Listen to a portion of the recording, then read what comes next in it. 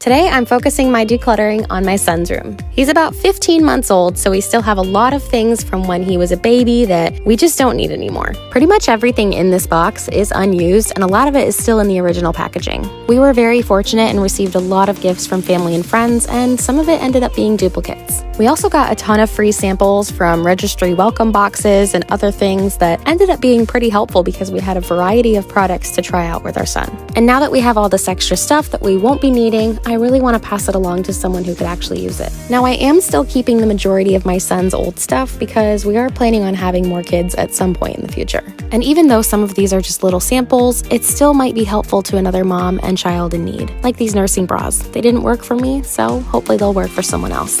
But that's all for today. This box will be going to a local women's shelter.